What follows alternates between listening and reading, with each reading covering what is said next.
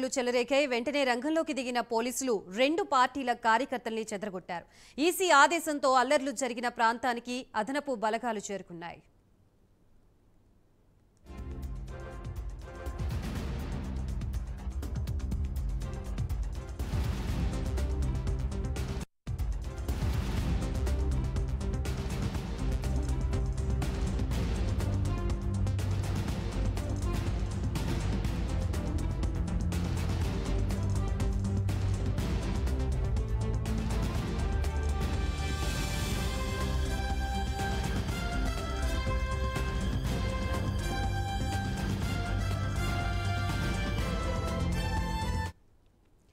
గుంటూరు జిల్లా వ్యాప్తంగా అక్కడక్కడ అల్లర్లు చెలరేకాయి వెంటనే రంగంలోకి దిగిన పోలీసులు రెండు పార్టీల కార్యకర్తల్ని చెదరగొట్టారు.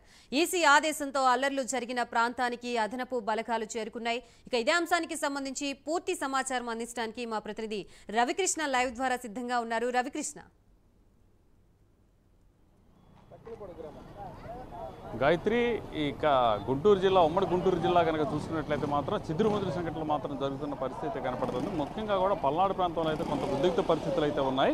ప్రధానంగా ఇక్కడ ఇక్కడ వచ్చేసి మన రెంటచింతల్లో ఫస్ట్ రెంటాలతో కూడా రెంటాల నుంచి కూడా గొడవలు స్టార్ట్ అయ్యాయి. అదేవిధంగా కూడా మాచర్ల మండలం రాయవరం వెల్దుర్తి మండలం లోయపల్లి ముటుకూరు ఈ విధంగా ప్రతి చోట కూడా గురజాల నియోజకవర్గం కేశనంపల్లి ఇక్కడ కూడా జరిగాయి. అదేవిధంగా కూడా ఇక పాల్వాయిలో అయితే బ్రహ్మ బ్రహ్మారెడ్డికి ఎవరైతే మాచర్లకు సంబంధించినటువంటి అభ్యర్థి ఉన్నాడో అతని మీద కూడా దాడి చేసినట్టు తెలుస్తుంది. అదే అలాగే ఇక్కడ మనకి గుంటూరుకు సంబంధించి గుంటూరు ప్రాంతానికి సంబంధించి చూసుకున్నట్లయితే మాత్రం ప్రధానంగా కూడా ఎంపీ అభ్యర్థి గుంటూరు పార్లమెంట్కి సంబంధించినటువంటి ఎంపీ అభ్యర్థి వైసీపీ ఎంపీ అభ్యర్థి అనేటువంటి ఈ మీద కూడా అక్కడ దాడి జరి దాడి జరిగినట్టుగా కూడా తెలుస్తూ ఉంది. కిలారి వెంకట రోసయ్య ఎంపీ అభ్యర్థి అతని మీద కూడా ఇక్కడ తక్కెలపాడు వద్ద దాడి యత్నం అయితే జరిగిన పరిస్థితి కనపడుతుంది. ప్రజెంట్ పరి ఇక్కడ కనుక సిచ్యువేషన్ కనుక చూసుకున్నట్లయితే మాత్రం కొంత చిదురుమదు సంఘటన జరిగినప్పటికీ కూడా పూర్తిగా కూడా అదుపులోనే ఉంది. అయినప్పటికీ కూడా కొన్ని చోట్ల మాత్రం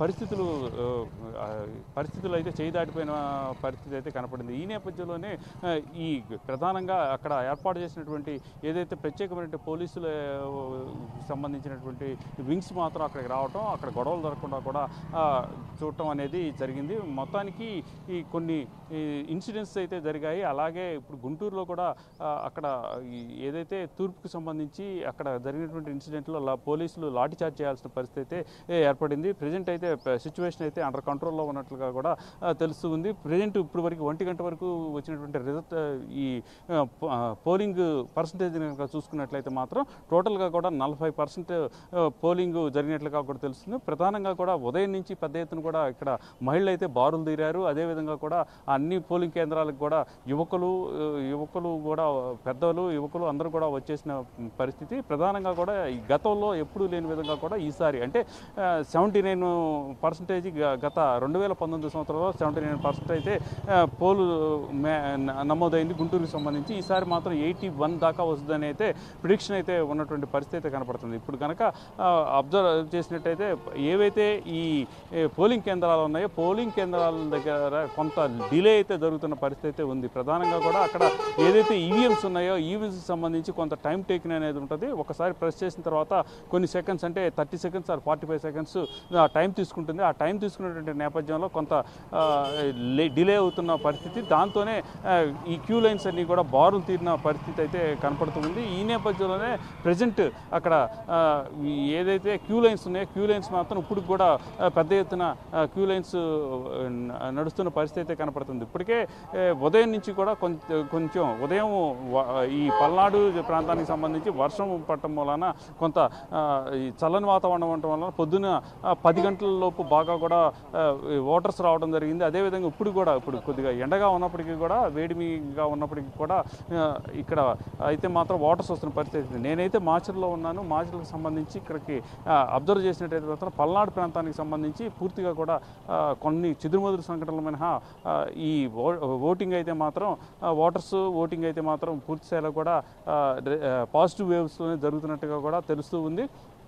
ఈ సంఘటనలు అంటే సమస్యాత్మక ప్రాంతాలు ఎప్పటికప్పుడు కూడా అంచనా వేయటం జరిగింది. అంచనా వేసిన తర్వాత వాటికి సంబంధించి ఆ సమస్యాత్మక ప్రాంతాలకి ముఖ్యంగా దొండపాడు కనుక చూసుకున్నట్లయితే అక్కడ ఎవరైతే కృష్ణదేవరాయలు శ్రీ శ్రీకృష్ణదేవరాయలు లావు శ్రీకృష్ణదేవరాయలు ఎంపీ అభ్యర్థి నర్సాపాటికి సంబంధించిన ఎంపీ అభ్యర్థి అతని మీద దాడి చేయటం జరిగింది. అక్కడికి వచ్చి అక్కడ ఉన్నటువంటి పోలింగ్ బూత్లో ఆయన పరిశీలిస్తున్నటువంటి సందర్భంలో అక్కడ ఉన్నటువంటి ఈ ఈ వైసీపీకి చెందినటువంటి వాళ్ళు లోపలికి రానికపోవడంతో అక్కడ కొంత ఉద్రిక్త పరిస్థితి అక్కడ ఉన్నటువంటి ఈ సబ్ కలెక్టర్ చెప్పినప్పటికీ కూడా లోపలికి రానికపోవడంతో కొంత ఉద్రిక్త పరిస్థితి ఏర్పడింది. ఆ తర్వాత ఆయన వెళ్ళేటువంటి క్రమంలో ఆయన మీద దాడి జరిగింది. అలాగే ఈ పాల్వాయి దగ్గర బ్రహ్మారెడ్డి ఈ ఈ- టీడీపీకి సంబంధించినటువంటి మాచర్ల అభ్యర్థి బ్రహ్మారెడ్డికి సంబంధించినటువంటి కాన్వాయ్ వెళ్తున్నటువంటి సందర్భంలో రెండు కార్ల మీద కూడా దాడి జరిగింది. అలాగే ఇక్కడ వైసీపీకి సంబంధించినటువంటి ఈ ఈ కిలారి వెంకటరోసయ్యకి కి సంబంధించిన కారు మీద కూడా దాడికైతే యత్నించారు. దాడి అయితే జరగలేదు. ఈ విధంగా కూడా పరస్పరం కూడా దాడులు జరిగేటువంటి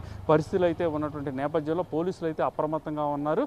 పో- ఈ ఓటింగ్ చేయడానికి మాత్రం ఈ చిరుమదులు సంఘటనలు జరుగుతున్నప్పటికీ ఇక్కడ ఓటింగ్ ఓట్లు వేసేందుకు మాత్రం ప్రజలు కూడా సిద్ధంగా ఉన్నటువంటి పరిస్థితి ప్రస్తుతం కనపడతా ఉంది. ప్రస్తుతం అయితే ఓటింగ్ సరళిని ఫార్టీ పర్సెంట్ ఒంటి గంట కల్లా ఫార్టీ పర్సెంట్ దాటినట్టుగా కూడా మనకి ఇది వస్తున్నటువంటి సమాచారం. ప్రజెంట్ కొంత ప్రశాంతంగా అయితే ఇప్పుడు ఈ ఉమ్మడి గుంటూరు జిల్లాకు సంబంధించి కొంత ప్రశాంతంగా అయితే ఓటింగ్ జరుగుతున్నట్టు తెలుస్తుంది. చిదురుమూరి సంఘటనలో మరికొన్ని కూడా నమోదయ్యే అవకాశం అయితే ఉంటుంది.